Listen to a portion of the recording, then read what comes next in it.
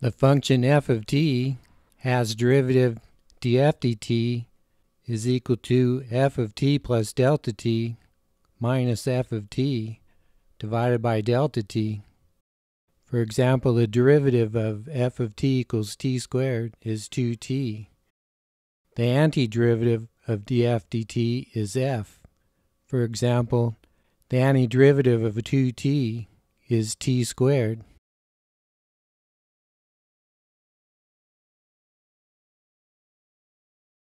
Here's a plot of a function f of t. Let's define a function a of t to be the area under the curve through the interval that begins at t equals 0 and ends at t.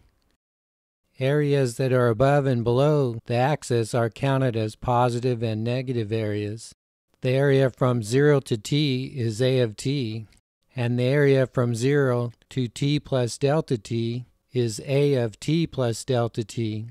Subtracting these two areas leaves just the area from t to t plus delta t, which has width delta t and height f.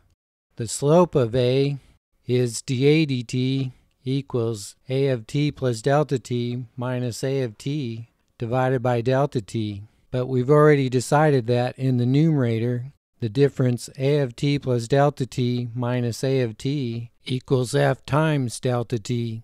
So we have the derivative dA dt equals f delta t divided by delta t, which is equal to f. This means that the slope of the area function a is the function f itself. Both sides of this equation can be undifferentiated to get a equals antiderivative of f.